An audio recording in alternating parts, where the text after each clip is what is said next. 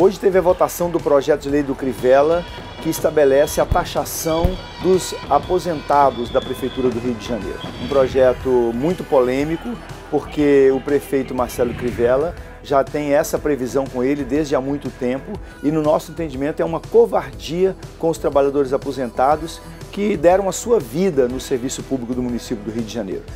A truculência da polícia também se fez presente, muito presente. Olha aí, agora aqui, ó, a polícia entrando para deter um professor.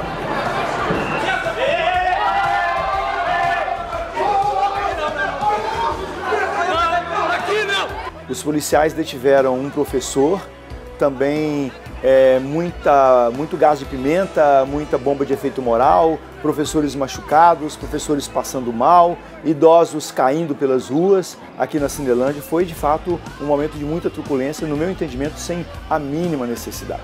Então essa é uma prefeitura que diz ao que veio. Ela é conservadora, ela não dialoga e ela está aí para retirar os direitos. Mas nós estamos aqui até esse horário, estamos desde manhã cedo, lutando resistindo e agora, nesse momento, a gente está pressionando para que esta sessão ela seja suspensa. Não há condições políticas, morais de é, dessa sessão fazer qualquer coisa, muito menos votar a taxação de aposentados e pensionistas. A previsão que eu tinha para a votação de hoje era, na verdade, a repetição da votação da semana passada. E foi exatamente o que aconteceu.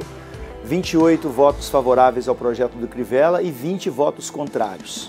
Esta, este foi o resultado. Depois que terminou a votação, eu tenho para mim que a gente precisa ter consciência tranquila do trabalho que a gente faz. Então, depois que acabou a votação, eu fui lá para fora, conversei com os professores, tentando animá-los, tentando animar os servidores do município, para dizer que a batalha não está perdida totalmente.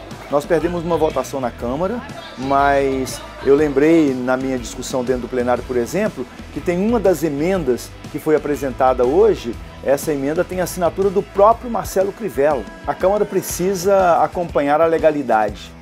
Quando eu falo da emenda que o Crivella assinou e digo que ele não poderia ter assinado, eu estou fazendo um recurso, já está assinado, vou apresentar amanhã à Câmara Municipal um recurso dizendo dessa ilegalidade e pedindo, é, solicitando à mesa diretora que avalie a retirada de todos os processos de votação hoje, portanto, que anule a sessão de hoje.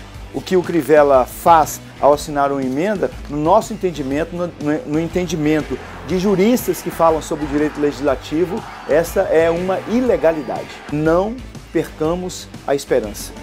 Nós não podemos nos dar por vencidos. Vamos juntos, isso é que é importante. Continuamos na luta.